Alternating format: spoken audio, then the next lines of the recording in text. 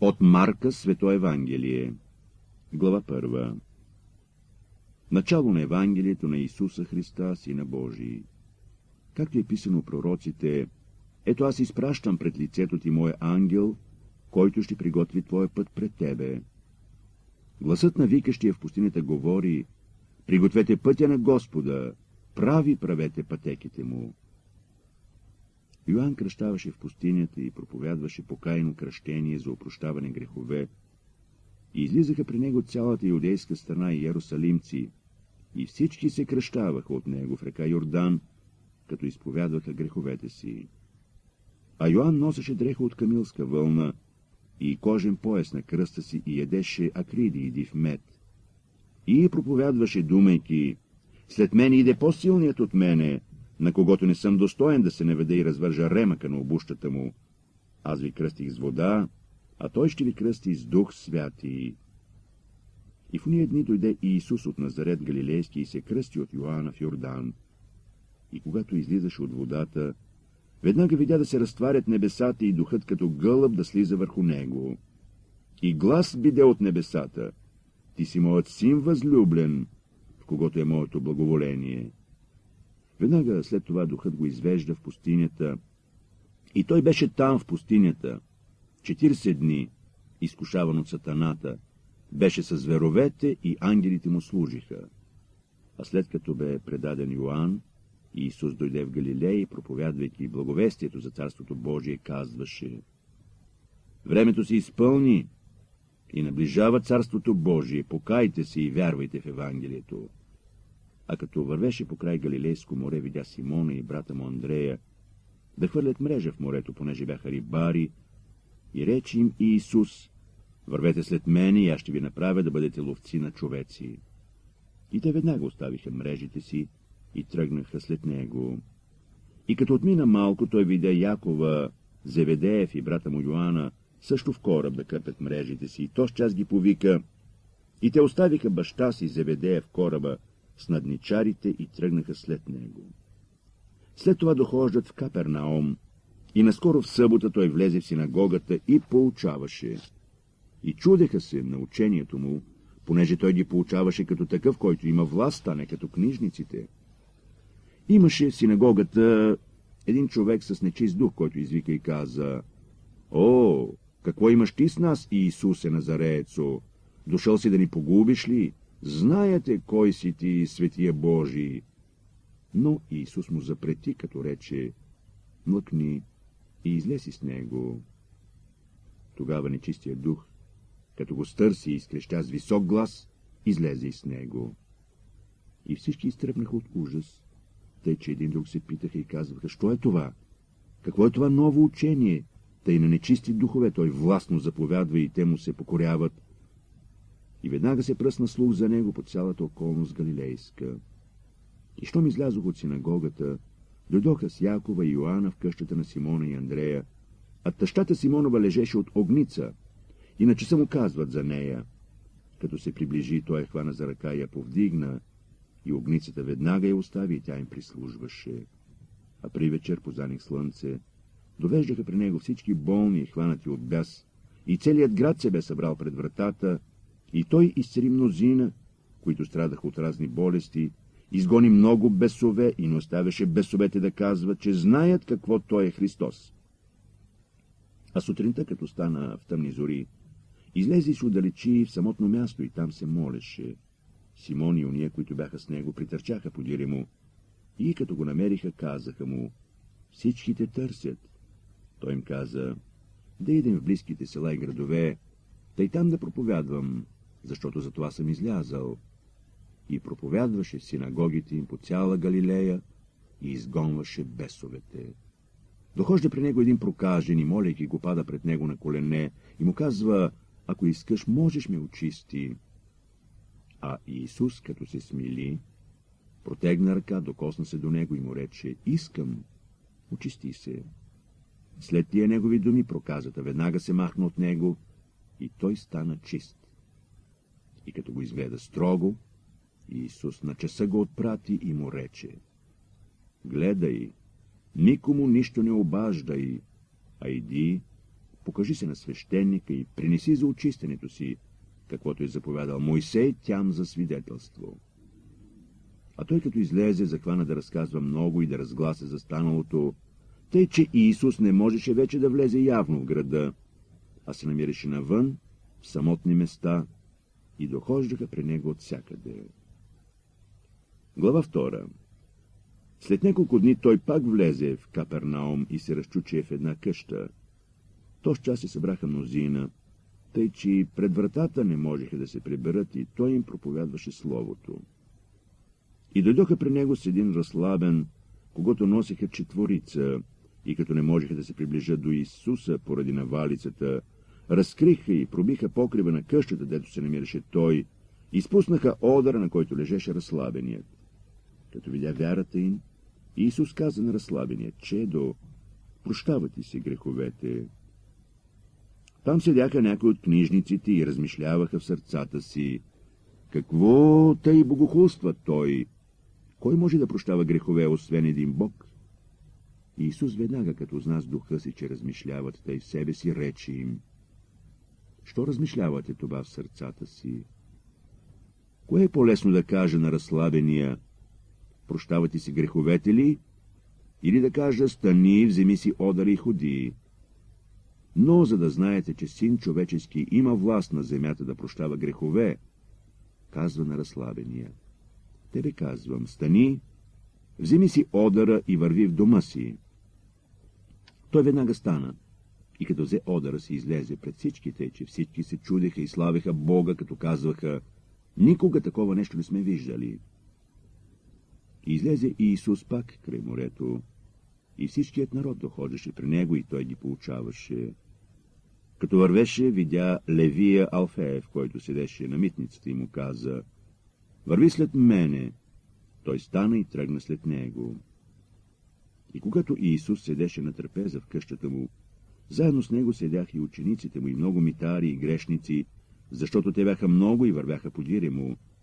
Книжниците и фарисеите, като видяха, че той яде с митари и грешници, думаха на учениците му. Как тъй яде и пие той с митари и грешници? Като чу това, Иисус им казва, здравите нямат нужда от лекар, а болните не съм дошъл да призува праведници, а грешници към покаяние. Учениците Йоанови и фарисейските постеха. Дохожат и му казват, защо учениците Йоанови и фарисейските постят, а твоите ученици не постят? Иисус им рече, нима могат сватбарите да постят, когато е с тях младоженицът. Докле е с тях младоженицът, те не могат да постят. Но ще дойдат дни, когато ще им отнемат младоженици и тогава през уния дни ще постят. Никой не кърпи вехта дреха с кръпка от небелен плат, инак новопришитото ще отиде от вехтото, ще се отдере и съдраното ще стане по-грозно. Никой не налива ново вино в вехти мехове, инак новото вино ще спука меховете и виното ще изтече и меховете ще се изкъбят, но ново вино трябва да се налива в нови мехове. И случи му се да минава в събота през посевите, а учениците му, като вървяха по пътя, късаха класове. А фарисеите му рекоха, виж, защо вършат събота това, което не е позволено? Той им рече, нима никога не сте чели, що стори Давид, когато имаше нужда и огладня сам, и уния, които бяха с него, как влезе в Божия дом при първосвещеник Авиатара и изяде хлябовете на предложението, що не биваше да еде никой, освен свещениците, па даде и на уния, които бяха с него, и думаше им. Съботата е направена за човека, а не човек за съботата, тъй, че син човечески е господар и на съботата. Глава трета И влезе пак синагогата. Там имаше един човек си съхнала ръка и го следяха, дали не ще го изцери в събота, за да го обвинят. А той казва на човека си съхналата ръка, изправи се насред. Тям пък каза, в събота добро ли е позволено да прави човек или зло, да спаси ли една душа или да погуби, но те мълчаха. И като ги изгледа с гняв, нажален поради ожесточението на сърцата им, казва на човека, протегни си ръката. И протегна я, и ръката му стана здрава като другата. Фарисеите, като излязоха, незабавно се събраха с иродияните на съвещание против него, как да го погубят. А Иисус се удалечи с учениците си към морето и след него тръгна множество народ от Галилея, Юдея, Ярусалим, Идомея и изотвъд Йордан, и живеещите около Тир и Сидон, като чука какво той вършеше, дойдоха при него в голямо множество.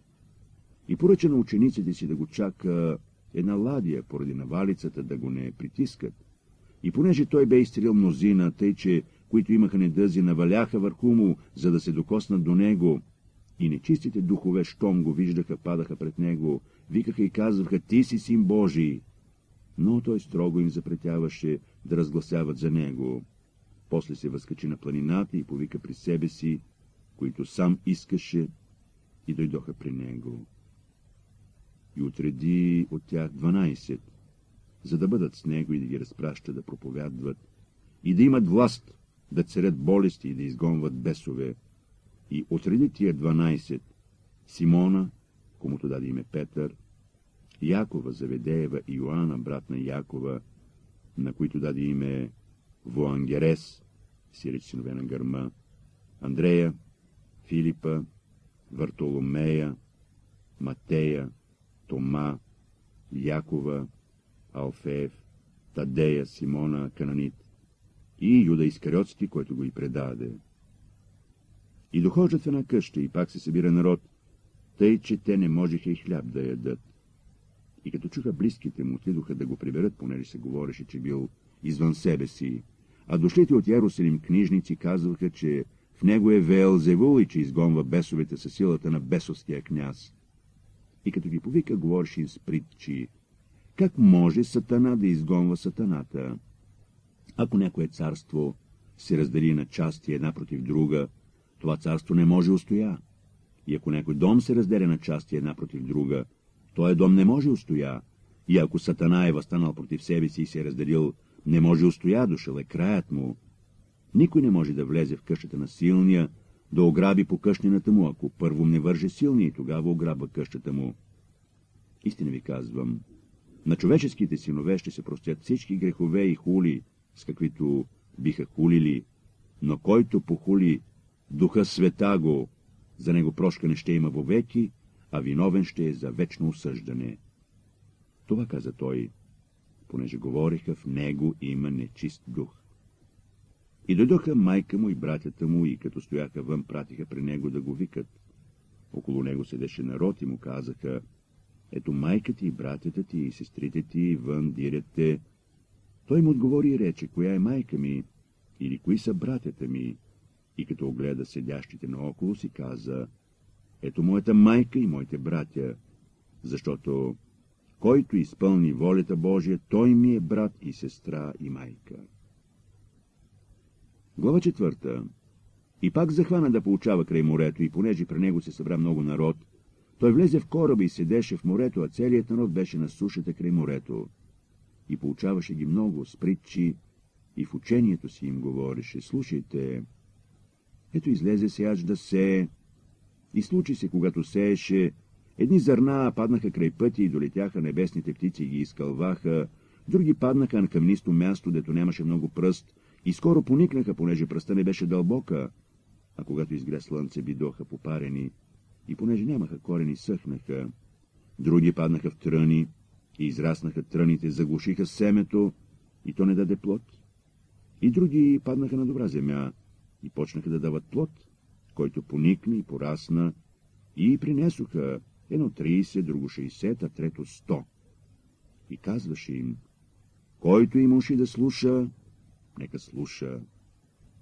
А когато остана насаме, окръжаващите го заедно с 12-те го попитаха за притчата и казваше им, Вам е дадено да узнаете тайните на Царството Божие, а на уния външните всичко бива в притчи, за да гледат с очи и да не видят, за да слушат с уши и да не разберат, понеже те се боят, да не би някога да се обърнат и да им се простят греховете, и им казва.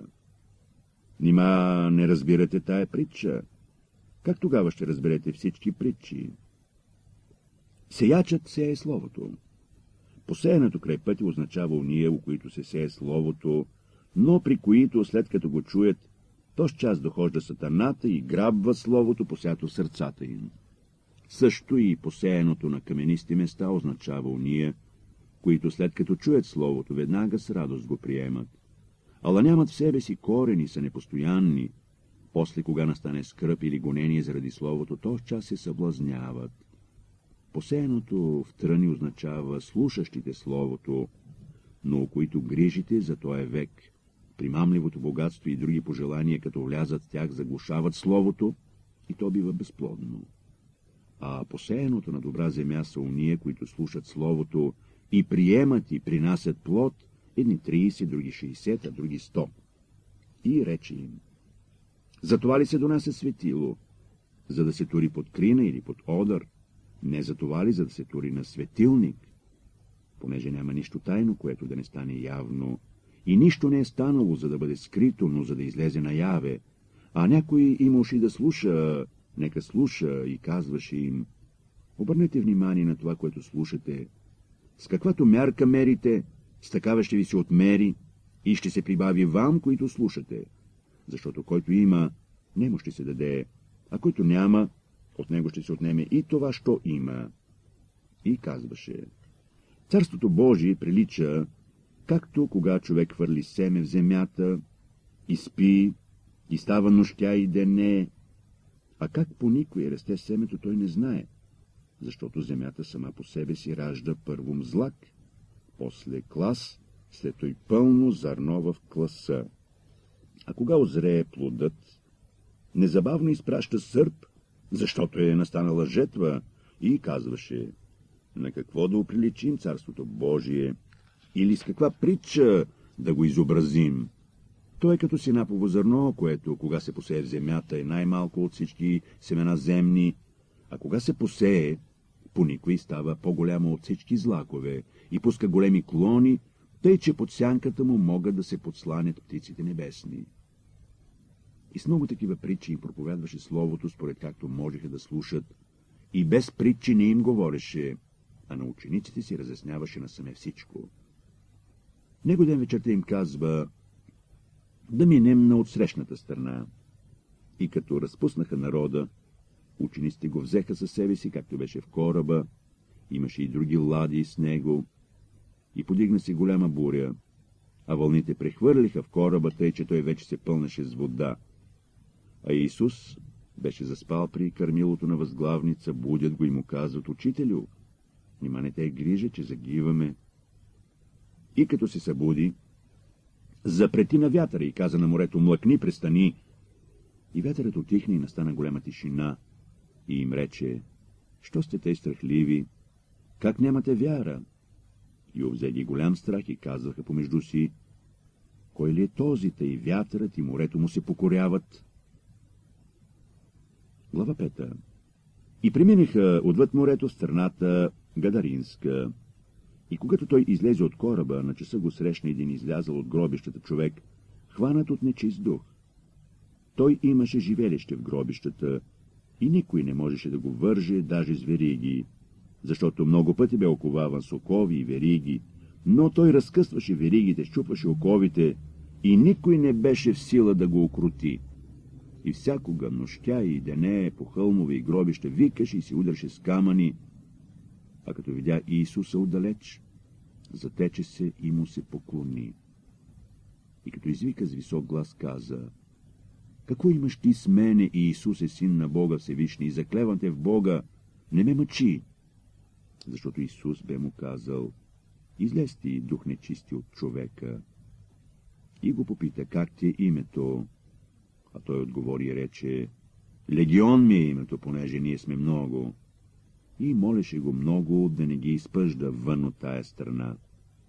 А там край планината пасеше голямо стадо свине. И всички бесове го молиха и казваха, прати ни в свините, за да влезем в тях. И Исус веднага им позволи. И като излязоха нечистите духове, влязоха в свините, и сурна се стадото ни стръмнината в морето, а те бяха до две хиляди и се издавиха в морето. А ония, които пасяха свините, избягаха разказваха в града и в околността, и жителите излязоха да видят, що се е случило. Дохождат при Исуса и виждат, че оня, който беше по-рано бесен, в когото имаше легион, седи облечен и със здрав ум и се изплашиха. Уния, които бяха видели, разказваха им, как стана това с бесни и за свините, и наченаха да го молят да си отиде от пределите им. И когато той влезе в кораба, оне, който беше по-рано бесен, го помоли да бъде с него, но Иисус не му позволи, а каза, «Иди си от дома при своите и разкажи им какво ти стори Господ и как те помилува». И отиде и начена да разправя по десетоградие какво му стори Иисус, и всички се чудеха.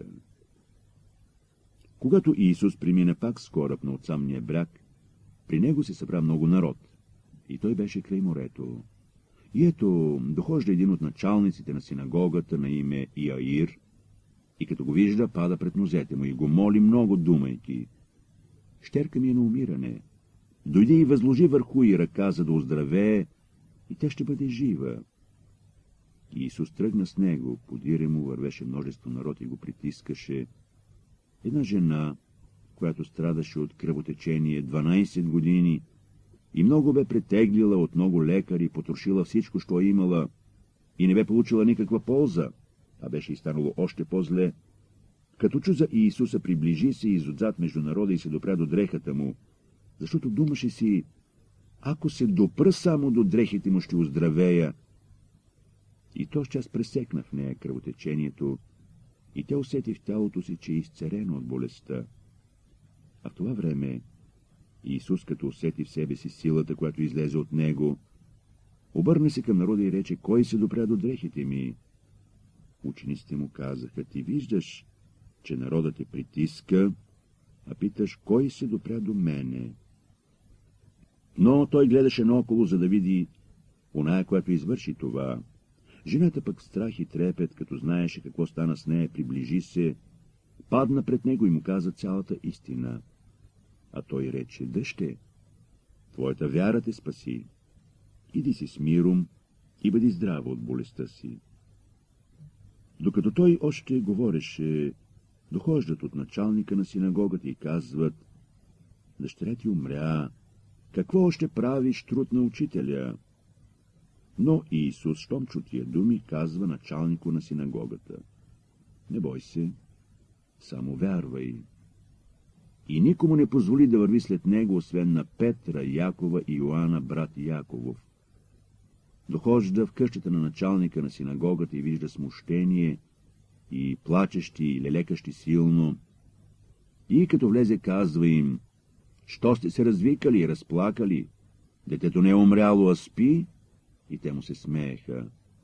Но той, като отпрати всички, взима със себе си бащата и майката на детето и уния, които бяха с него, и влиза там, дето лежеше детето. И като хвана детето за ръка, казва му, Талита коми, което означава момиче, тебе казвам стани. Момичето веднага стана и начена да ходи, понеже беше на 12 години, и се смаяха твърде много. И той строго им заповяда, никой да не знае за това и поръча да й дадат да яде. Глава 6 Оттам той излезе и дойде в отечеството си, а учениците му го следваха. Като настана събота, той захвана да получава в синагогата и мнозина, които слушаха, с очудване говориха, откъде у него това, каква е тая мъдрост, която му е дадена, че се вършат такива чудеса чрез ръцете му? Не е ли той дърводелицът, Мариният син, брат на Якова, Йосия, Юда и Симона? И не са ли тук между нас сестрите му? И падаха в съблазън поради него. А Исус им казваше, пророк не бива безпочит, освен в отечеството си между сродници и в дома си.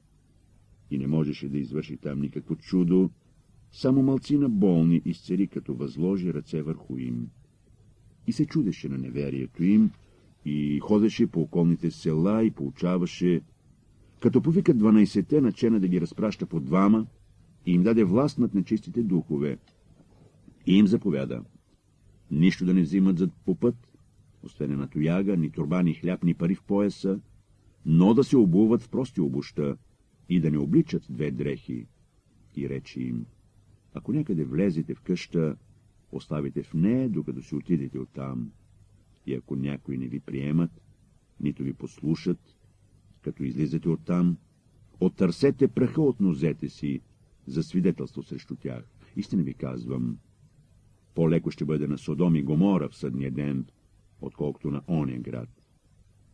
Те тръгнаха и проповядваха покаяние. Изгонваха много бесове и мнозина болни, помазаха се лей и ги изцеряваха. Цар Ирод чу за Иисуса, понеже името му стана известно и казваше Йоанн Кръстител е възкръснал от мъртвите, та затова стават чудеса чрез него. Други казваха, това е Илия, а други пророк е или като един от пророците. А Ирод, като чу това, каза, това е Йоанн, който аз обезглавих. Той е възкръснал от мъртвите, защото сам Ирод бе проводил да хванат Йоанна и го свърза в тъмницата заради Иродиада, жена на брата му Филипа, понеже се бе оженил за нея, защото Йоанн говореше на Ирода, не ти е позволено да водиш братовата си жена. А Иродиада го мразеше и искаше да го убие, но не можеше, защото Ирод се страхуваше от Йоанна, като знаеше, че той е мъж праведен и свят и го пазеше, много работи вършеше и имаше послушание към него и с приятност го слушаше. И като дойде сгоден ден, когато Ирод по случай рождения си ден даваше гощавка на своите велможи, воеводи и на старейте галилейски, дъщерята Иродиадена влезе, игра и угоди на Ирода и на сътърпезниците му. Царят каза на девойката, искай от мене каквото щеш и ще ти дам.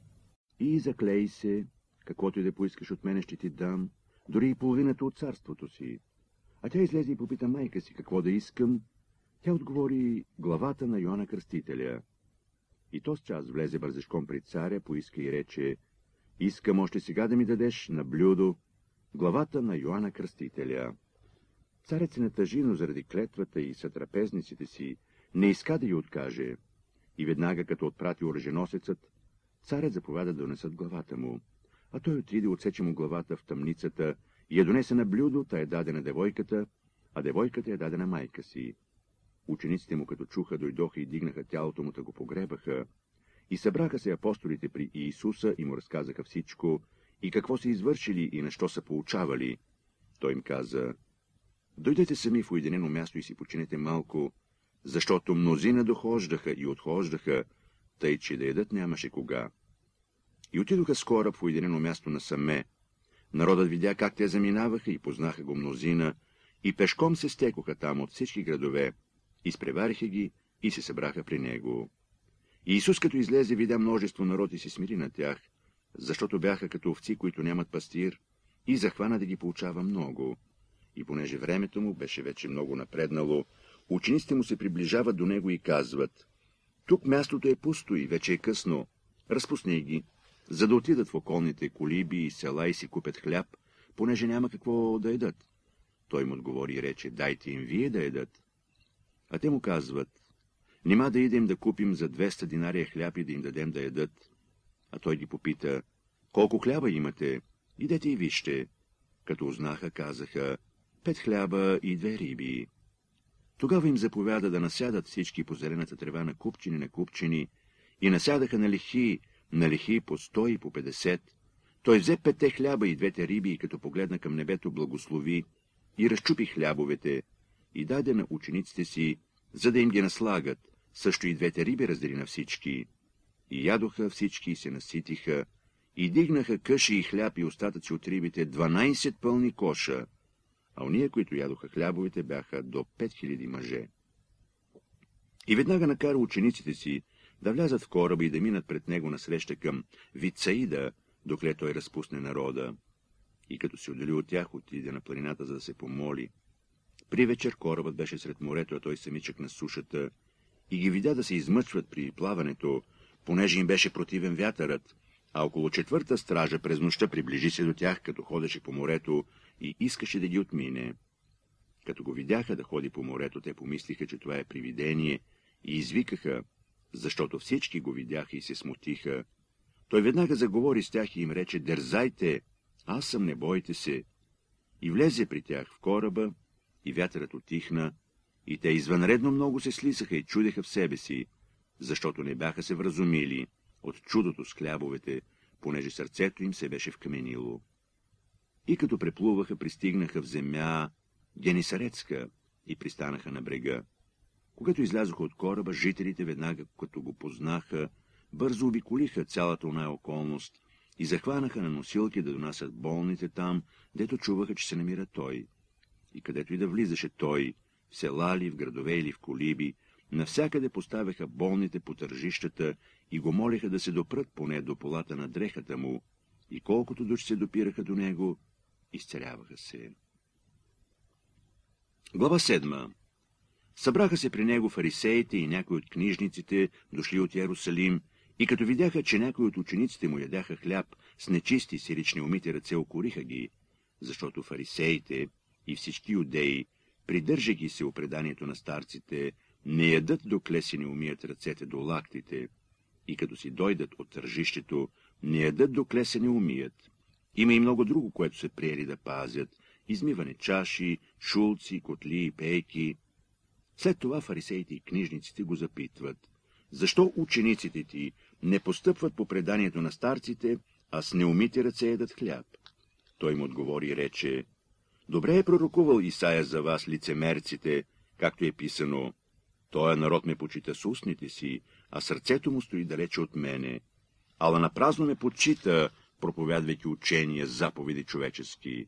Защото вие, като оставихте Божията заповед, държите се опреданието човеческо, миете шулци, чаши и вършите много други подобни неща, и им рече, добре отменете заповедта Божия, за да спазите вашето предание, защото Мойсей е казал, почитай баща си и майка си, и който злослови баща или майка със смърт да се накаже. А вие казвате, ако някой каже на баща или на майка, корбан, си реч дар Богу, е онова, с което би се ти ползвал от мене. Такъв, вие не го оставяте вече да стори нищо за баща си или за майка си, като престъпвате Словото Божие чрез преданието си, що сте вие предали, и вършите много подобни неща. И като повика целият народ, думаше им, слушайте ме всички и разбирайте. Нищо, което влиза в човека отвън, не може го оскверни, но което излиза от него, то осквернява човека. Ако някой има уши да слуша, нека слуша. И когато той се отегли от народа и влезе в една къща, учениците му го попитаха за притчата. Той им рече, Нима и вие сте тъй неразсъдливи? Нима не разбирате, че нищо, което влиза в човека отвън, не може го оскверни, защото не в сърцето му то влиза, а в корема и излиза навън, чрез което се очистя всяка храна. Он е рече, което излиза от човека, то осквернява човека, защото отвътре, от сърцето човешко излизат зли помисли, прелюбодеяние, блудство, убийства, кражби, користолюбие, обиди, лукавства, коварство, разпътство, лукаво око, богохулство, гордост, безумство. Всичко това зло иде отвътре и осквернява човека. И като стана оттам, отиде в пределите Тирски и Сидонски, и като влезе в една къща, не желаеше никой да го узнае, ала не можа да се укрие, защото чу за него една жена, чиято дъщеря беше обхваната от нечист дух, и като дойде падна пред нозете му. А тая жена беше езичница, родом сирофиникянка, и го молеше да изгони беса из дъщеря й. Но Иисус й рече, нека първом да се насите чедата, защото не е добре да се вземе хлябът от чедата и да се хвърли на псетата. А тя му отговори и рече, да, Господи, ала и псетата ядат под трапезата трохи от децата. И каза й, за тая дума, иди си, бесът излезе из дъщеря ти. И като отиде в дома си, тя намери, че бесът беше излязъл и дъщеря й лежеше на постелката. Като излезе пак из пределите Тирски и Сидонски, и Исус отиде към Галилейско море през пределите на Десетоградие. И доведоха при него един глух и заеклив, и го молеха да възложи на него ръка. И Исус, като го отведе на страна от народа, вложи пръстите си в ушите му, и като плюна докосна се до езика му, и като погледна към небето, въздъхна и му рече Ефата. Си реч отвори се. И веднага се отвори слухът му, и се развързаха връзките на езика му и заговори чисто. и заповяда им никому да не кажат, но колкото той им забраняваше, толкова с повече те разгласяваха. И извънредно се чудиха и казваха, всичко хубаво върши, и глухите прави да чуват, и немете да говорят. Глава 8 В уния дни, когато се беше събрал твърде много народ и нямаше що да ядат, Иисус повика учениците си и им рече, Жално ми е за народа, че три дни вече стоят при мене и няма какво да ядат. Ако ги разпусна гладни по домовете им, ще им премалее по пътя, защото някои от тях са дошли отдалеч. Учениците му отговориха, Оде може човек да насити тия люди с хляб тука, в пустинята? И ги попита, колко хляба имате? А те отговориха, седем. Тогава заповяда на народа да насяда на земята и като взе седемте хляба и възблагодари, разчупи и даде на учениците си да наслагат. И те наслагаха пред народа. Имаха и малко рибки. Като благослови, той заповяда да наслагат и тях. И ядоха, и се наситиха, и дигнаха останали къши и седем кошници, а уния, които ядоха, бяха около 4000 и ги разпусна. И веднага влезе в кораба с учениците си и пристигна в пределите Далмануцки. И излязоха фарисеите и почнаха да се припират с него и, изкушавайки го, искаха му личба от небето. А той въздъхна дълбоко и рече, за какво той род иска личба? Истина ви казвам, няма да се даде личба на този род. И като ги остави, пак влезе в кораба и мина на отвъдната страна. При това учениците му бяха забравили да вземат хляб и нямаха със себе си в кораба освен един хляб. А той им рече и заповяда, внимавайте, пазете се от кваса фарисейски, от кваса Иродов. И размишляваха помежду си, думайки, това ще да е, задето нямаме хляб. А Исус като узна каза им, какво размишлявате, задето нямате хляб? Още ли не разбирате и не разумявате? Още ли е вкаменено сърцето ви? Очи имате, не виждате ли? Уши имате, не чувате ли, не помните ли? Когато разчупих пете хляба за пет хиляди души, колко пълни коша къши дигнахте, казват му, 12. А когато седемте хляба за 4000, колко кошници дигнахте от останалите къши, отговориха седем. И рече им, как не разбирате?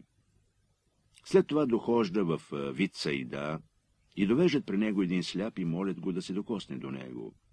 Като хвана слепия за ръка, изведе го вън от селото и като плюна на очите му, сложи върху му ръце и го попита, вижда ли нещо? Той като погледна нагоре каза, виждам човеците да минават като дървета. После пак сложи ръце на очите му и го накара да погледне, и върна се зрението му и виждаше всичките ясно и го изпрати дома му, като рече, нито се отбивай в селото, нито пък разказвай някому там за това. Излезе Исус учениците си по селата на Кесария Филипова. По пътя питаше учениците си и им казваше, за кого ме мисля човеците?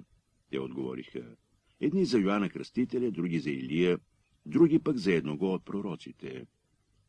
Той им казва, а вие за кого ме мислите? Петър му отговори и рече, ти си Христос. И запрети им да говорят за него, комуто и да било. Иначе не да ги учи, че син човечески трябва много да пострада, да бъде отхвърлен от стареите, първосвещениците и книжниците и да бъде убит и на третия ден да възкръсне. И говореше за това открито, но Петър, като го взе на страна, захвана да му възразява, а той, като се обърна и погледна учениците си, сгълча Петра и рече, «Махни се от мене, сатана, защото мислиш не за това, що е Божие, а що е човеческо. И като повика народа с учениците си, речи им, който иска да върви след мене, нека се отрече от себе си, да вземе кръста си и ме последва, защото който иска да спаси душата си, ще я погуби, а който погуби душата си заради мене и Евангелието, той ще я спаси. Защото каква полза за човека, ако придобие цял свят, а повреди на душата си, или какъв откуп ще даде човек за душата си? защото който се срами от мене и от думите ми, в този прелюбодеен и грешен род, и син човечески ще се срами от него, кога дойде в славата на отца си със светите ангели. Глава 9. И речи им, истина ви казвам, тук стоят някои, които няма да вкусят смърт, докле не видят Царството Божие дошло в сила. И след шест дни Иисус взе със себе си Петра, Якова и Йоанна и възведе ги сами на висока планина на Саме и се преобрази пред тях. Дрехите му станаха бляскави, твърде бели, като сняг, каквито белилник на земята не може избели. И яви им се Илия с Моисея и разговаряха с Иисуса. Тогава Петър заговори и рече на Исуса, Рави, добре е да бъдем тук, да направим три сенника, за тебе един, за Моисея един и един за Илия, защото не знаеше какво да каже, понеже бяха оплашени. И яви се облак да ги засени, и от облака дойде глас, който казваше, Този е моят възлюбен син, не го слушайте. И отведнъж, като погледнаха наоколо, никого вече не видяха със себе си, освен едного Иисуса.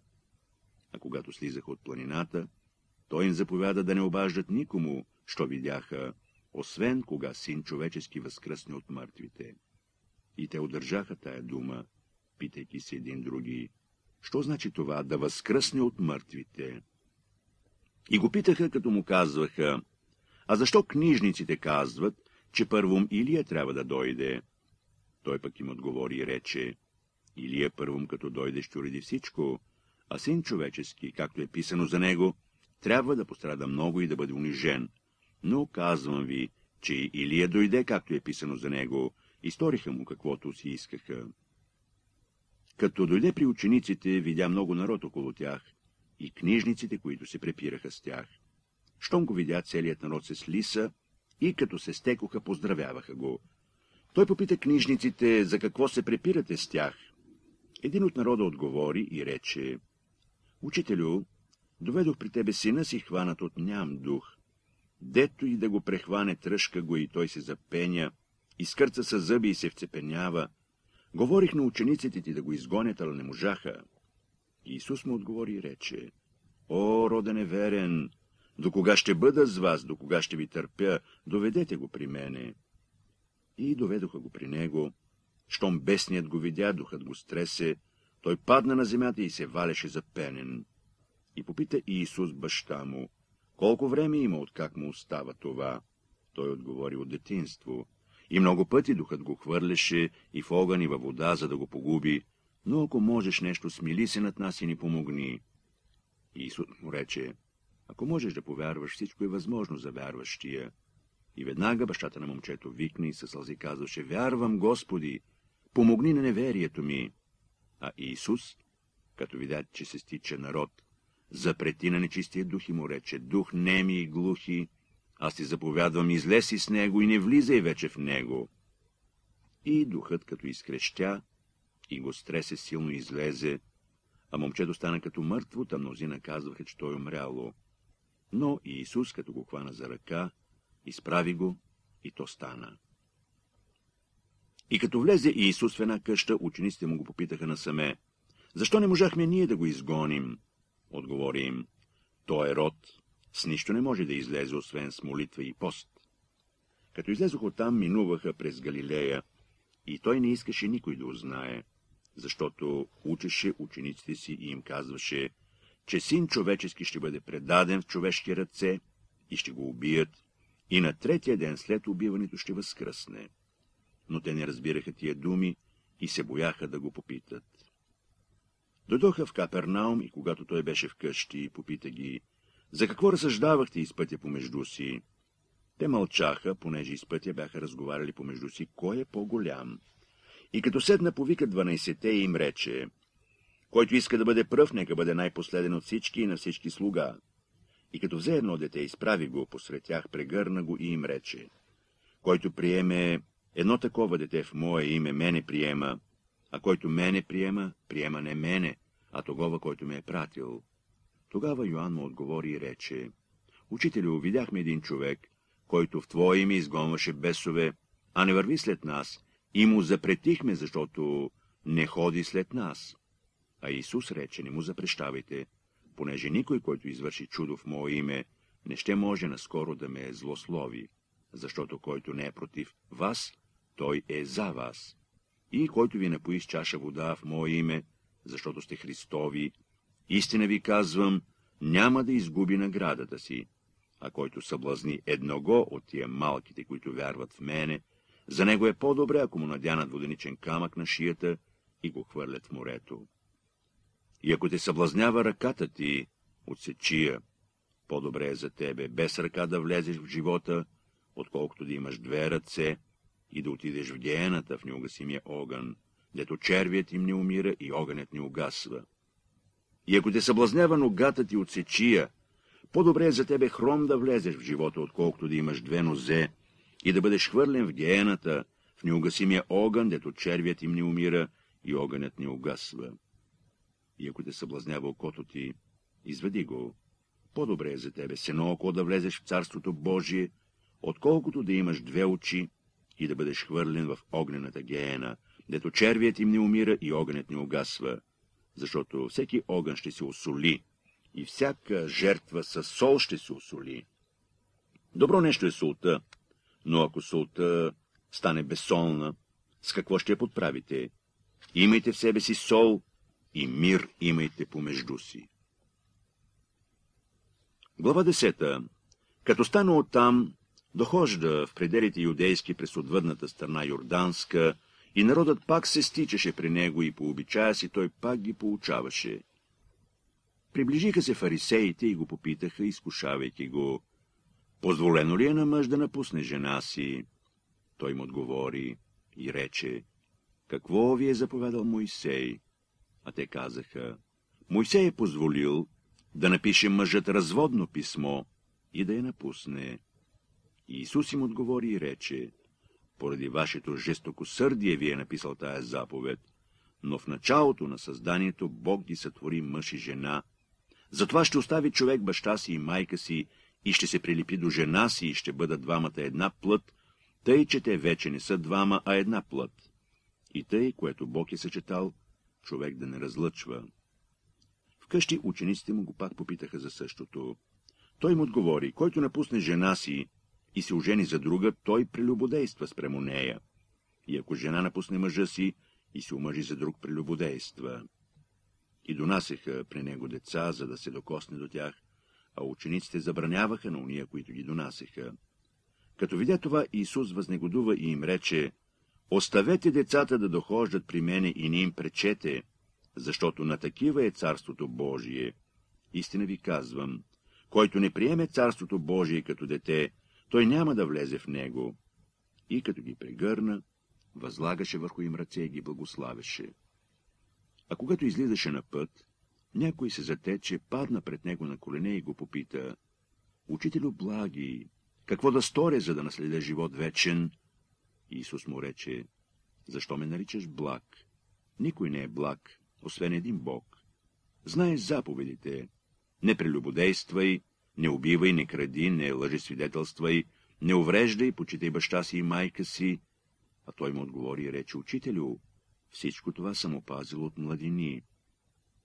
Исус, като го погледна, възлюби го и му рече, едно ти не достига. Иди, продай всичко, що имаш и раздай на сирома си, и ще имаш съкровище на небето, па дойди и върви след мене, като вземеш кръста.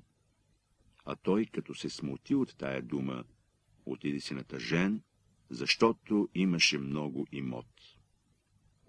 И като погледна наоколо, Исус казва на учениците си, колко мъчно богатите ще влязат в Царството Божие. А учениците се смаяха от думите му, но Исус пак им отговаря и казва, че да, колко мъчно е уния, които се надяват на богатството си, да влязат в Царството Божие. По-лесно е Камила да мине през иглени уши, нежели богат да влезе в Царството Божие. А те твърде много се чудеха и говореха помежду си, а кой може да се спаси?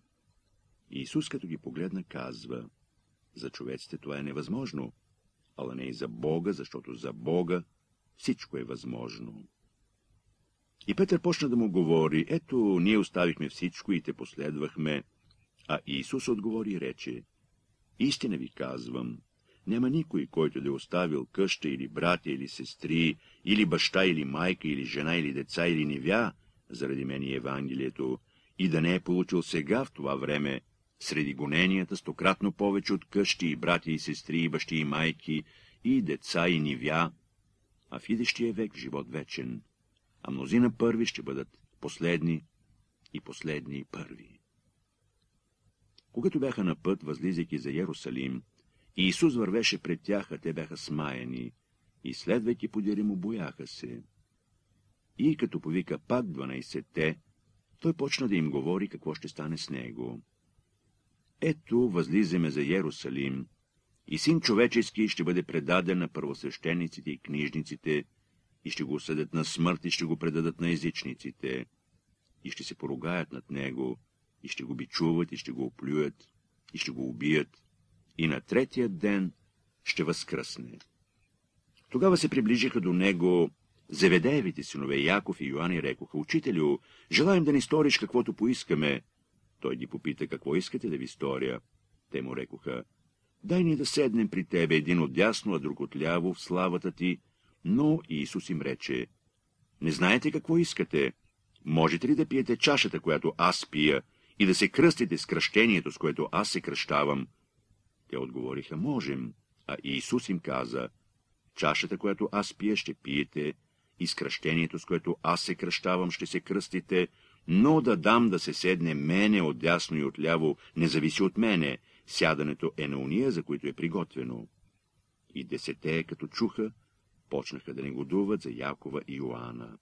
А Исус, като ги повика, речи им, знаете, че уния, които се смятат за князе на народите, господаруват над тях и велможите им властват върху тях, но между вас няма да бъде тъй, който иска между вас да бъде големец, нека ви бъде слуга, и който иска между вас да бъде пръв, нека бъде на всички роб, защото и син човечески не дойде, за да му служат, но за да послужи и да даде душата си откуп за мнозина. След това дохождат в Ярихон. И когато Иисус излизаше из Ярихон с учениците си и с множество народ, синът Тимеев, Вартимей, който беше сляп, седеше на пътя и просеше. И като чу, че това е Иисус Назорей, той взе да вика и да говори, сине Давидов Иисусе, помилуй ме. Мнозина го мъмреха, за да млъкне, но той още повече викаше, сине Давидов, помилуй ме. Исус се спра и заповяда да го повикат. Викат слепи и му казват, дързай, стани, викате. Той хвърли горната си дреха, стана и дойде при Исуса. И отговаряйки му, Исус го запита, какво искаш да ти сторя?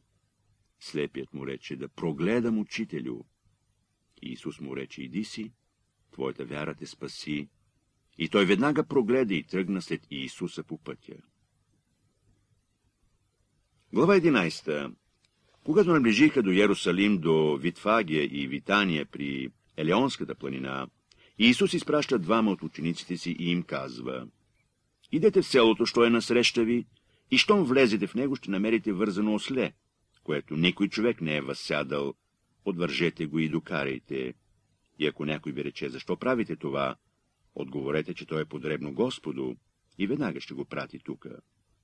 Те отидоха и намериха ослето вързано о вратата на улицата и го отвързаха. И някои от стоящите там им казваха, какво правите, защо отвързвате ослето? А те им отговориха, както им бе заповядал и Исус, и уния ги пуснаха. И докараха ослето при Исуса, наметнах върху него дрехите си и Исус го възседна. А мнозина послаха дрехите си по пътя, други пък се чаха клони от дърветата и постилаха по пътя, и които вървяха отпред и които го съпровождаха, възклицаваха и казваха, Осана, благословен идещият в име Господне, благословено царството на отца ни Давида, което иде в име Господне, Осана във висините. И влезе Иисус в Ярусалим и в храма, като разгледа всичко и понеже беше вече късно, излезе и отиде във Витания с дванайсетте. На другия ден, когато излязох от Витания, той огладня и като видя отдалечена смоковница, покрита с листа, отиде дано намери нещо по нея, но като дойде при нея не намери нищо, освен листа, понеже още не беше време за смокини. И речи Иисус, занапред никой да не вкуси плод от теб веки. И чуха това учениците му. Дойдоха в Ерусалим.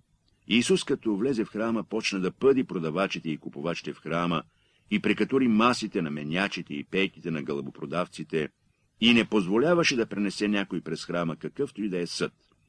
И получаваше ги, като казваше, не е ли писано, думът ми да се нарече дом молитвен за всички народи, а вие го направихте разбойнишки вертеп. чуха това книжниците и първосвещениците и гледаха как да го погубят, понеже се бояха от него, тъй като цял народ се чудеше на учението му. А като се стъмни, той излезе вън от града. Сутринта, минавайки, видяха, че смоковницата бе изсъхнала от корен. И като си спомни, Петър му казва, Рави, виж смоковницата, която ти проклей съхнала. И Исус им отговори и рече, имайте вяра в Бога, защото истина ви казвам, ако някой каже на тая планина, дигни се и се хвърли в морето и не се усъмни в думите си, в сърцето си, а повярва, че, че стане, ще му се сбъдне, каквото и да каже. Затова казвам ви, всичко, каквото бихте поискали в молитва, вярвайте, че ще получите и ще ви бъде дадено. И кога стоите на молитва, прощавайте, ако имате нещо против някого, тъй небесният ви Отец да прости вам прегрешенията ви. Ако ли вие не прощавате, и небесният ви Отец няма да прости вам прегрешенията ви. И дойдоха пак в Ярусалим, и когато той ходеше из храма, приближиха се до него първосвещениците и книжниците и стареите, и му казват, «С каква власт вършиш това? И кой ти е дал тая власт да вършиш това?» А Исус им отговори и рече, «Ще ви попитам и аз една дума и отговорете ми, тогава аз ще ви кажа с каква власт върша това. Кръщението Йоаново от небето ли беше или от човеците, отговорете ми. А те разсъждаваха помежду си и казаха, ако речем от небето, ще каже, а защо му не повярвахте? Ако ли речем от човеците, бояха се от народа, понеже всички приемаха, че Йоанн наистина беше пророк. И казаха в отговор Иисусу, не знаем. Тогава Иисус им отговори и рече, и аз ви не казвам, с каква власт върша това. Глава 12 И почна да им говори с притчи. Някой си човек насъди лозе и огради го с плет, и изкопа лин, и съгради кула, и като го предаде на лозари, отиде си. И на времето си изпрати при лозарите един слуга, за да вземе от тях плода на лозето а те като го хванаха, биха го и отпратиха без нищо. Пак изпрати при тях друг слуга, и него като замериха с камъни, пукнаха му главата и го пуснаха в безчестие. Изпрати и други го, и него убиха, и мнозина други или биха, или убиха. А понеже още имаше едничък син, обичан нему, най-сетне изпрати и него при тях, думайки, ще се засрамят от сина ми. Но лозарите казаха помежду си, това е наследникът, хайде да го убием, и наследството ще бъде наше. И като го уловиха, убиха го и хвърлиха вън от лозето. Какво проче ще направи господарят на лозето? Ще дойде и ще погуби лозарите и ще даде лозето на други? Нима и това не сте чели в писанието? Камъкът, който отхвърлиха зидарите, той стана глава на ъгъла. Това стана от Господа и е дивно в очите ни. И търсиха повод да го хванат, но се побояха от народа, понеже разбраха, че за тях каза притчата, и като го оставиха, отидоха си. И изпращат при него някои от фарисеите и иродияните, за да го ловят на дума. Те дойдоха и му казват, учителю, знаем, че си справедлив и не мариш за никого, понеже не гледаш на ничи лице, а истински получаваш на път Божий. Позволено ли е да се дава данък кесарю или не, да дадем ли или да не дадем. А той, като знаеше тяхното лицемерие, рече им, що ми изкушавате, донесете ми един динарий да го видя. И те донесоха, тогава им казва, чий е тоя образ и надпис? Те му казаха на кесаря. Исус им отговори и рече, отдайте кесаревото кесарю, а Божието Богу. И те му се почудиха. След това дойдоха при него садокеи, които казват, че няма възкресение, и го попитаха, казвайки, «Учителю, Мойсей ни е написал, ако някому умре брат и остави жена, а деца не остави, то нека брат му вземе жена му и въздигне потомството на брата си. Имаше седем братя, първият взе жена и на умиране не остави потомство, втория взе и умря, но и той не остави потомство, също и третият, Вземаха я и седмината и не оставиха потомство. След всички умре жената. И тъй при възкресението кога възкръснат, кому от тях ще бъде жена, понеже седмината я имаха за жена. Исус им отговори и рече, не от това ли се заблуждавате, задето не знаете писанията, нито силата Божия, защото, кога възкръснат от мъртвите, нито се женят, нито се мъжат, а са като ангели на небесата. А за мъртвите, че ще възкръснат, не сте ли чели в книгата на Моисея, как Бог му казва при капината? Аз съм Бог Авраамов и Бог Исааков и Бог Яковов, но той не е Бог на мъртви, а Бог на живи. И тъй, вие много се заблуждавате. Един от книжниците, като чу преперните им и като видя, че Иисус им отговаряше добре, приближи се и го запита, коя е първа от всички заповеди. А Иисус му отговори, първа от всички заповеди е слушай, Израилю, Господ Бог наш е един Господ. И възлюби Господа Бога Твоего от всичкото си сърце и от всичката си душа, и с всичкия си разум и всичката си сила, тази е първа заповед. Втора подобна не е Възлюби ближния като себе си. Друга заповед по-голяма от тая няма. Книжникът му рече, добре, учителю, ти право каза, че Бог е един и няма друг освен Него, и че да го любиш от все сърце, и с всичкия си разум, и всичката си душа, и с всичката си сила, и да любиш ближния като самаго себе, е повече от всички всесъжения и жертви. И Исус, като видя, че той разумно отговори, рече му, не си далеч от Царството Божие. След това никой вече не смееше да го пита. Като заговори и Исус и получаваше в храма, рече, как казват книжниците, че Христос е син Давидов, понеже сам Давид каза чрез Духа Света го, рече Господ, Господу моему, седи от дясната ми страна, докле туре твоите врагове, подножие на нозете ти. И тъй сам Давид го нарече Господ. Оде тогава той е негов син. И множество народ го слушаше с наслада.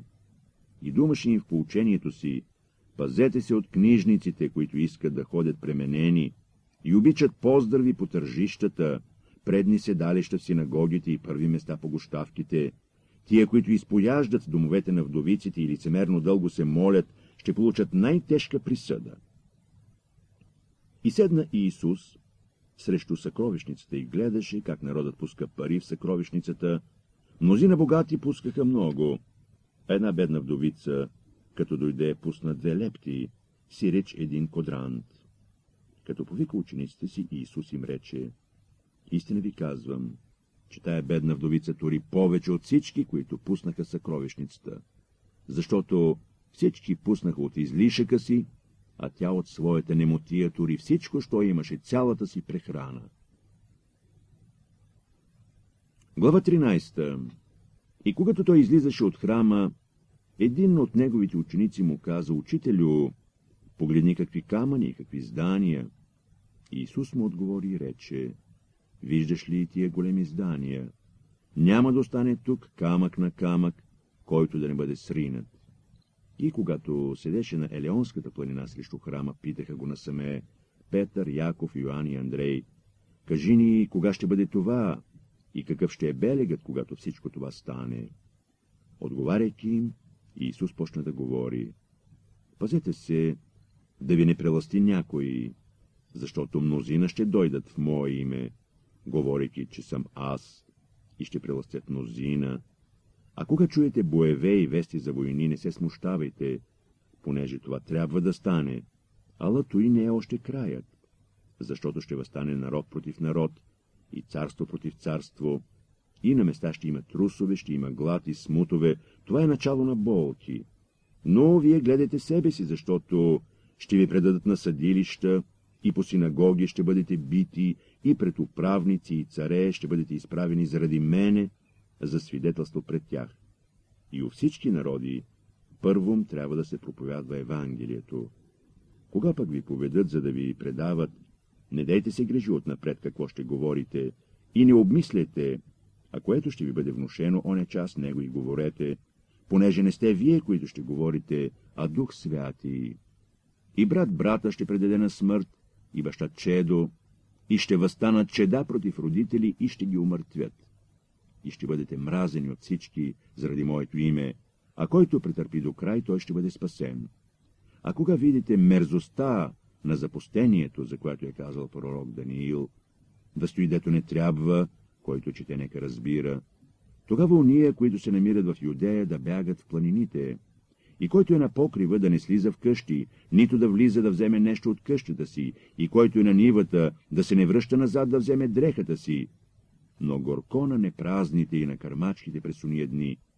Затова молете се, да се не случи бягството ви зиме, защото през уния дни ще има такава скръп, каквато до сега не е имало от начало на създанието, що е създал Бог, и няма да бъде.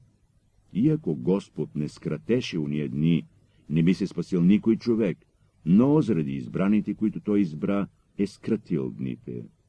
Тогава, ако някой ви каже, ето тук е Христос, ето там или там е, не вярвайте, защото ще се появят лъжи Христи и лъжи пророци и ще покажат личби и чудеса, за да преластят, ако е възможно, и избраните. А вие се пазете. Ето, каза ви отнапред всичко. Но в уния дни, след оная скръп, слънцето ще потъмнее и месечината не ще даде светлината си. И звездите небесни ще изпадат, и силите, които са на небето, ще се разклатят. Тогава ще видят сина човечески да иде на облаци с сила и слава голяма. И тогава ще изпрати ангелите си и ще събере избранниците си от четирите вятъра, от края на земята до края на небето. Вземете подоби от смоковницата, когато клоните и станат меки и пуснат листа, знаете, че е близо лято. Тъй и вие, кога видите това да се сбъдва, знайте, че е близо, при вратата. Истина ви казвам, няма да премине този род, докле всичко това не се сбъдне. Небе и земя ще преминела, думите ми няма да преминат. А за оня ден и час никой не знае, нито небесните ангели, нито сина, само Отец. Внимавайте, бъдете будни и се молете, понеже не знаете кога ще стане времето. То прилича, както кога някой човек отивайки на чужбина и оставяйки къщата си, даде на слугите си власт и всеки му своя работа и заповяда на вратаря да бъде буден. И тъй бъдете будни, понеже не знаете кога ще дойде господарят на къщата при вечер ли, или сред нощ, или кога петли пропеят или насъмване, тъй като дойде ненадейно, да ви не намери, че спите. А каквото вам говоря, говоря го на всички, бъдете будни. Глава 14 След два дни идеше Пасха и празник безквасници, и първосвещениците и книжниците гледаха как да го уловят с измама и убият, но казваха само не на празника, за да не бъде смут у народа. И когато той беше във Витания, в къщата на Симона прокажени, и седеше на трапезата, дойде една жена, която носеше алабастрен съд с миро от чист, драгоценен нарт, и като щупи алабастрения съд, възливаше върху главата му. А някои не го дуваха и казваха помежду си, защо стана това прахосване на мирото, та то можеше да се продаде за повече от 300 динария и парите да се раздадат на сиромаси и роптаеха против нея.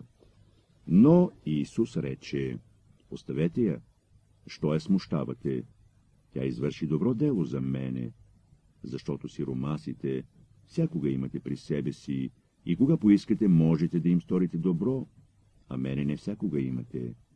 Тя извърши, което можа, превари да помаже тялото ми за погребение. Истина ви казвам, дето и да бъде проповядвано това Евангелие по цял свят, ще се разказва за нейн спомени за това, що тя извърши. Тогава Юда Искариот, един от 12-те, отиде при първосвещениците, за да им го предаде. А те като чуха, зарадваха се и обещаха да му дадат сребърници, и търсеше как да го предаде в сгодно време. В първия ден на безквасниците, когато колеха пасхалното агне, казват му учениците, «Де искаш да отидем и приготвим, за да едеш паската?» И изпраща двама от учениците си, па им казва, «Идете в града и ще ви срещне човек, който носи стомна с вода. Идете след него. И където той влезе, кажете на стопанина, Учителят казва, де е стаята, в която трябва да ям пасхата с учениците си. И той ще ви покаже горница голяма, послана, готова. Там ни пригответе. И излязоха учениците му, и дойдоха в града и намериха, както им бе казал, и приготвиха пасхата. Когато се свечери, той дохожда с 12-те. И когато бяха седнали на трапезата и ядоха, Иисус рече, Истина ви казвам, един от вас, който яде с мене, ще ме предаде. А те почнаха да скърбят и да му казват един след друг, да не съм аз. А той им отговори и рече, един от дванайсете е, който топи с мене в блюдото. Проче, син човечески отива, както е писано за него, но горко на оня човек, чрез когото син човечески бъде предаден. Добре щеше да бъде за този човек, ако не бе се родил. И когато те ядяха, Исус като взе хляб, благослови, преломи, даде и рече, вземете и яще, това е моето тяло. И като взе чашата и благодари, даде им и пиха от нея всички и им рече, това е моята кръв на новия завет, която за мнозина се пролива. Истина ви казвам, аз вече няма да пия от лозовия плод до оня ден, когато ще го пия нов в Царството Божие. И като изпяха хвалебна песен, излязоха на Елеонската планина. И каза им Исус, всички вие ще се съблазните поради мене през тая нощ, защото писано е, ще поразя пастира и ще се пръснат овците. Но след възкресението си ще ви изпреваря в Галилея. А Петър му рече, дори и всички да се съблазнят, аз обаче не. Исус му казва, истина ти казвам, че днес, в тая нощ, преди петел дважда пропеят и три пъти ще се отречеш от мене. Но той още повече настояваше, ако потрябва дори и да умра с тебе, няма да се отрека от тебе, същото казваха и всички. Дохождат в едно село, наречено Гецимания, и той казва на учениците си, поседете тук, докле се помоля. И взима със себе си Петра, Якова и Йоанна, и почва да се ужасява и да тъгува, и рече им, душата ми е прескръбна до смърт, останете тук и бъдете будни. И като се поодалечи, падна на земята и се молеше да го отмине този час, ако е възможно, и казваше, Ава, отче, за тебе е всичко възможно. Отклони от мене тая чаша, но да бъде не каквото аз искам, а каквото ти. Дохожда ги намира, че спят и казва на Петър, Симоне, спиш ли? Не можа ли един час да постоиш буден? Бъдете будни и се молете, за да не паднете в изкушение, духът е бодър, а плътта немощна. И пак, като отиде, помоли се и каза същите думи, а като се завърна, намери ги пак да спят, понеже очите им бяха натегнали и не знаеха, що да му отговорят. И дохожда, трети път им казва, спете, прочи и почивайте, свърши се, дойде часът, ето син човечески се предава в ръцете на грешниците. Ставайте да вървим, ето приближава се оня, който ме предава. И този час, докле той още говореше, Юда, един от дванайсетте, дохожда, и с него множество народ с ножови и колове от страна на първосвещениците, книжниците и стареите. А оне, който го предаваше, бе им дал знак, казвайки, когато целуна той е, хванете го и водете зорко. И като дойде, веднага се приближи до него и казва, рави, рави, и го целуна а те сложиха ръцете си върху му и го хванаха. А един от уния, които стояха там, извади нож, удари и слугата на първосвещеника и му отряза ухото. Тогава Иисус продума и им рече, като на разбойник сте излезли с ножове и колове, за да ме хванете. Всеки ден бивах с вас в храма и получавах, и ме не хванахте, но да се сбъднат писанията. Тогава всички ученици го оставих и се разбягаха. Един момък, обвит с плътнище по голо тяло, вървеше подире му и войниците го хванаха. Но той, като остави плътнището, избяга гол от тях. И доведаха Иисуса при първосвещеника, при когото се събраха всички първосвещеници, стареи книжници. Петър го следва отдалеч довътре в двора на първосвещеника и седеше със слугите и се грееше на огъня. А първосвещениците и целият синедрион – търсиха свидетелство против Иисуса, за да го умъртвят, и не намираха, защото мнозина лъжи свидетелстваха против него, ала тия свидетелства не бяха еднакви. И някои станаха и лъжи свидетелстваха против него, като казваха. Чухме, че той говореше, ще разрушат този ръкотворен храм и след три дни ще съзидем друг неръкотворен. Но и това тяхно свидетелство не беше еднакво. Тогава първосвещеникът застана посред и попита Иисуса, казвайки, Нищо ли не отговаряш? Какво свидетелства тия против тебе? Но той мълчеше и нищо не отговаряше. Първосвещеникът пак го попита и му рече, Ти ли си Христос, синът на благословения? Иисус му рече, Аз съм, и ще видите сина човечески да седи отдясно на силата и да иде на небесните облаци. Тогава първосвещеникът, като раздра дрехите си, каза, Каква нужда имаме вече от свидетели? Чухте богохулството, как ви се струва? И те всички признаха, че заслужава смърт. И някои почнаха да плюят върху му, да му закриват лицето, да го бият и да му казват «Проречи!» И слугите му удряха плесници. Когато Петър беше долу на двора, дойде една от слугините на първосвещеника и като видя Петър да се грее, взря се в него и рече «И ти беше с Иисуса Назарееца!» Но той се отрече, като каза «Не зная, нито разбирам, що говориш». И излезе вън на предния двор и Петел пропя. Слугинята, като го видя пак, почна да говори на уния, които стояха там, този от тях. И той пак се отрече.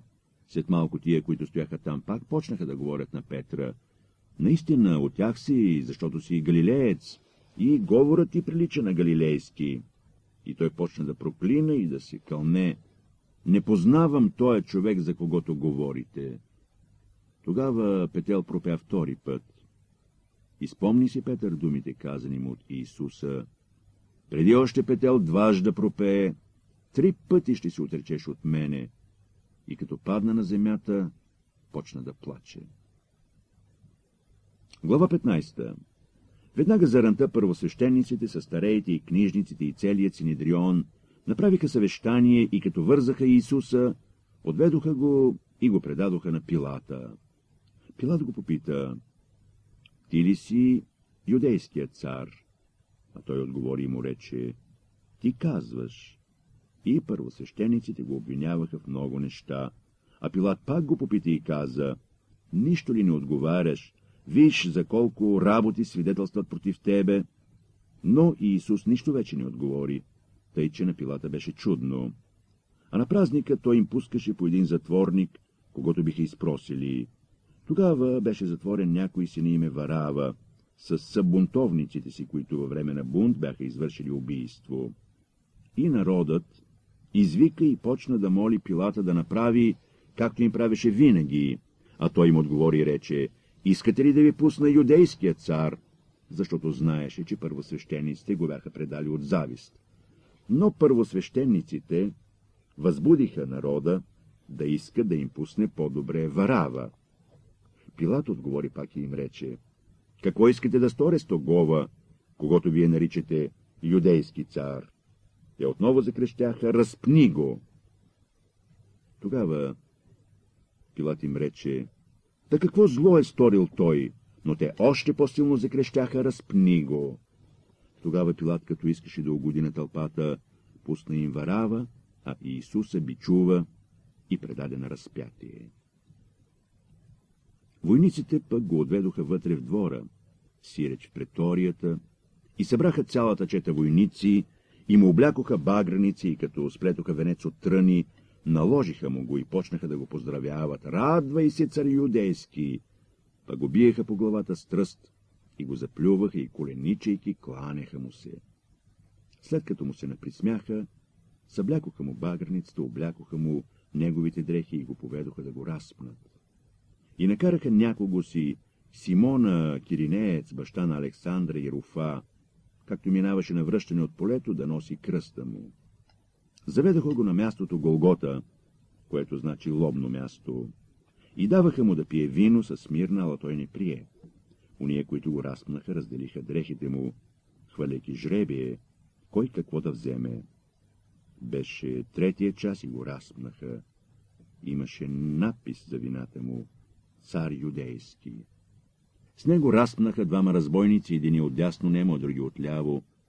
И се сбъдна писанието, което казва, и към беззаконници бе причислен. Минувачите го хулиха, като клатиха глава и думаха, «Уа! Ти, който разрушаваш храма и в три дни го съзиждаш, спаси себе си и слез от кръста!» Също и първосвещениците с книжниците се присмиваха и думаха помежду си, «Други спасяваше, а себе си не може да спаси. Христос, царят Израилев, нека слезе сега от кръста, та да видим и повярваме!»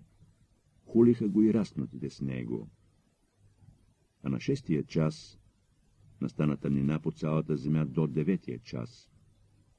А на деветия час Исус извика с висок глас Елои, Елои, лама савахтани, което значи Боже мой, Боже мой, защо си ме оставил?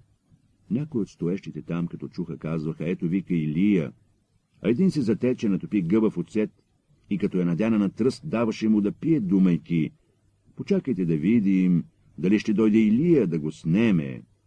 А Иисус, като издаде висок глас, издъхна. И храмовата завеса се раздра на две, отгоре до долу.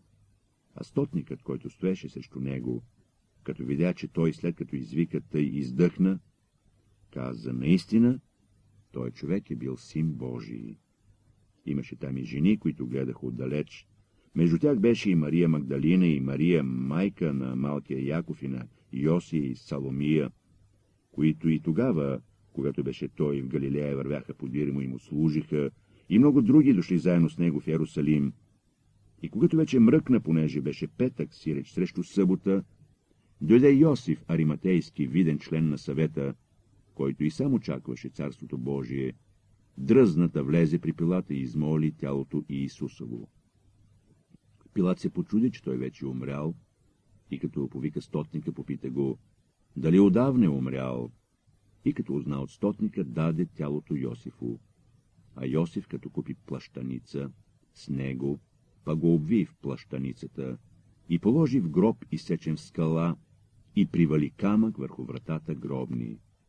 А Мария Магдалина и Мария Йосиева гледаха де го полагат. Глава 16 след като мина събота, Мария Магдалина, Мария Яковова и Саломия купиха аромати, за да дойдат и го помажат.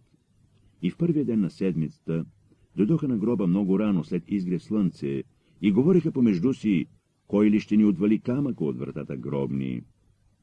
И като погледнаха, виждат, че камъкът е отвален, а той беше много голям.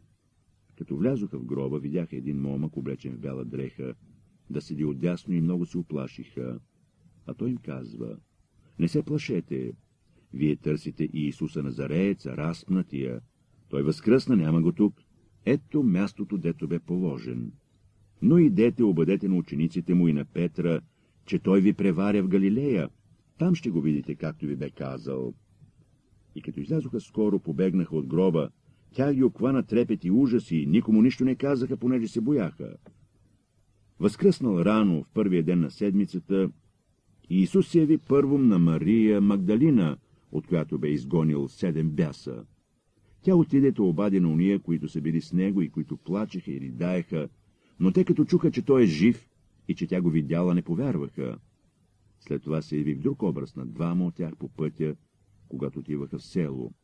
И като се върнаха, обадиха на останалите, но и тям не повярваха.